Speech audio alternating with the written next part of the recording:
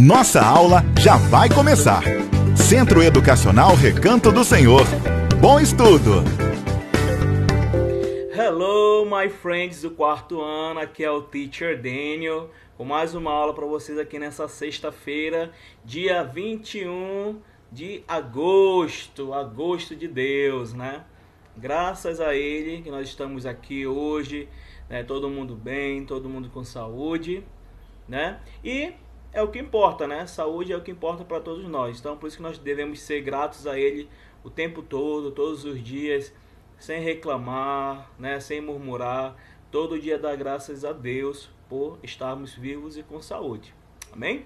Então vamos dar continuidade à nossa English Class de hoje, que segundo o nosso cronograma nós temos uma review, né? A nossa review ela está no nosso livro, lá no, no nosso English Book, tá? Do capítulo 4 e capítulo 5, tá? No capítulo 4, nós vamos ver aqui, ó, nós temos o chapter 4, What are you wearing? Né? What are you wearing? Quando eu faço essa pergunta lá na página 52, aqui na página 52, quando eu faço essa pergunta, né? É, what, aqui na página 52, né?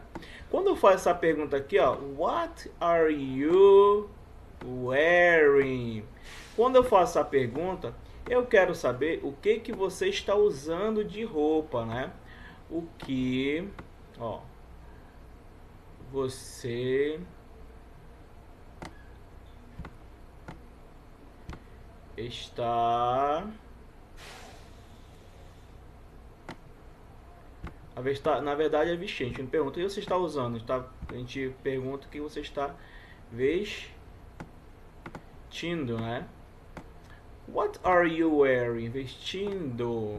Repeat. What are you wearing? What are you wearing? O que, que você está vestindo? É, então, quando eu quero perguntar para alguém o que, que ela está vestindo, eu, é, eu pergunto What are you wearing? What are you wearing? Ok? Então, turn the page. Tá? Vamos pular lá para a página 56. Né? Quando eu pergunto What are you wearing? What are you wearing? Eu respondo, ó, eu respondo com I'm Ó.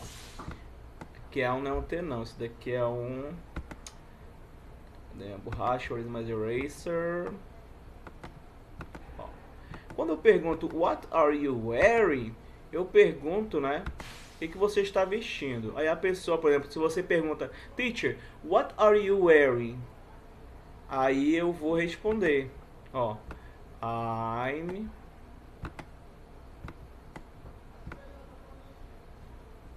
I'm wear, ó, vestir, wearing, ing, ó, porque é anda, ando, né, indo, indo e ando. I'm wearing, aí eu vou falar o que estou vestindo. Por exemplo, eu estou vestindo eu estou vestindo um uma jaqueta. I'm wearing jacket. I'm wearing jacket, ok?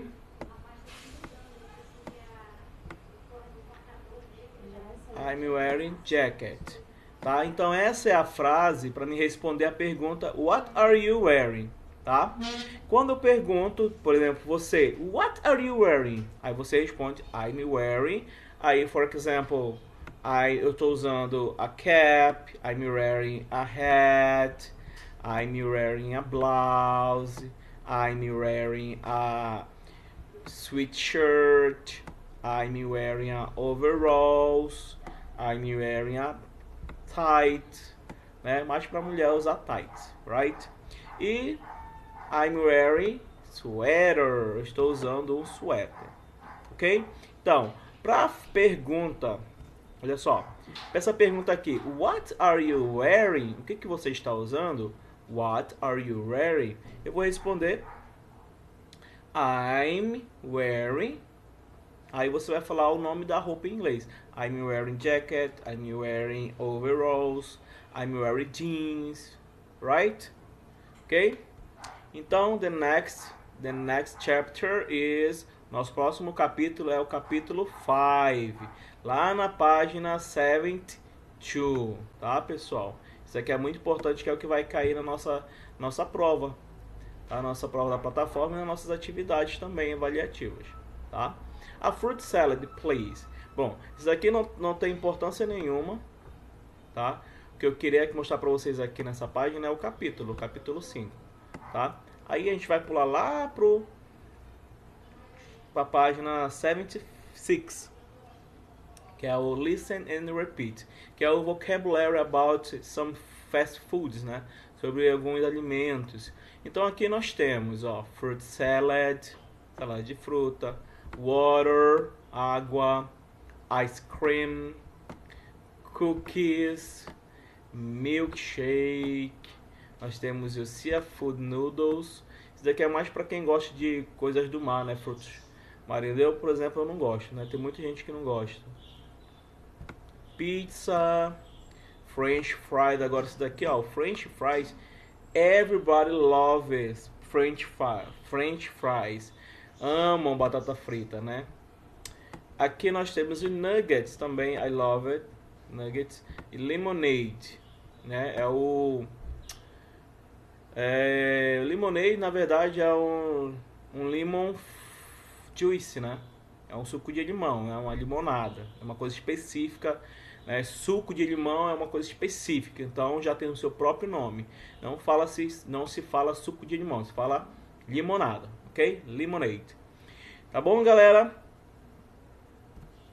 Então, olha só, vamos pular lá para a página 78 essa página da 78, o importante dela são os currency. Os currency são as, as, moedas, né? Nós temos aqui a moeda brasileira, que é o Brazilian Currency, e American Currency. No Brasil, a moeda brasileira, todo mundo conhece, que é o real. Então, não se fala real, se fala real. Por quê? Porque é o nome próprio de uma moeda. Então eu não posso falar real, porque real é real, né? Então, olha só. Tudo que for brasileiro, aqui nós temos algumas é, alguns valores, né, da moeda. Então assim, o que se refere ao número, à numeração, eu vou falar em inglês, tá? que se refere à numeração, eu vou estar falando em inglês ela. Mas quando se trata da moeda brasileira, eu vou falar ela em português, tá bom? Por exemplo, aqui nós temos um real e cinco centavos, né? Um real e cinco centavos. Falando isso em inglês, eu vou falar, olha só, lembra que eu falei que em questão de números, eu tenho que falar o número em inglês e a moeda, como é moeda brasileira, eu tenho que falar ela em português tá? Porque não se traduz. Então, olha só, é one real and five centavos, tá? One, how much is it? Quanto é isso? Ah, quando o brasileiro vier, o americano vier no, aqui, me encontrar com você, aí vai, ele vai perguntar, how much is it? How much is it? Quanto é? Ah, it's one real and five centavos, né? Porque aí ele vai saber que ele vai ter que lhe dar um real e mais 5 centavos, tá? Outro exemplo aqui, ó, 10 reais e 30 centavos. Então nós temos aqui, we have here 10 reais and 30 centavos. Aqui, 20, é, 20 reais e 43 centavos. 20 reais and 43 centavos. Ok? Agora na moeda americana não.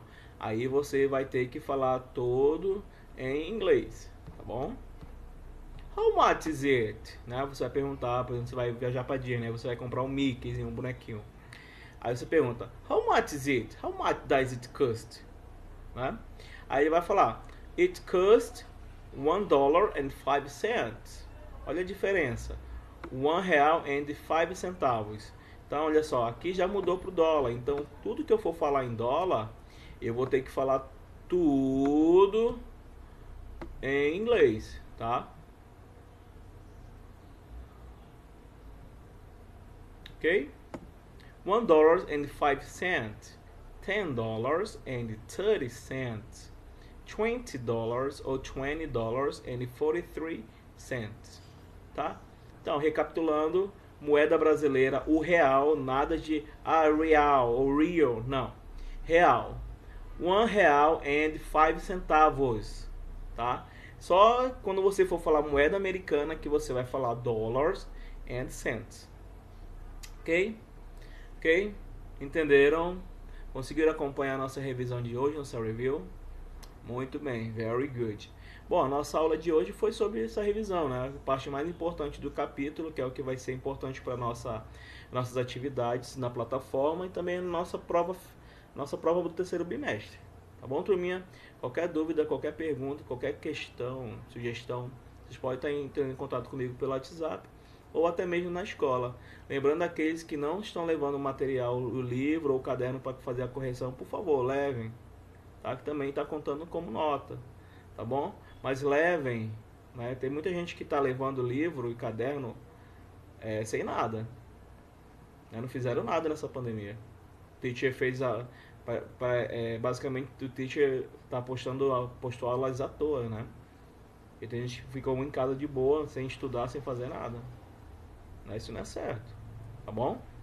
Então, por favor, leve as atividades, leve o livro atualizado né, na próxima semana, tá? E o caderno também. Tente fazer a correção e dar umas, os carimbos do, do, de ok no, no livro no caderno de vocês. Tá bom, turminha? No mais, fiquem com Deus. Have a nice weekend. Tenha um bom final de semana. Deus abençoe. God bless you. E bye bye.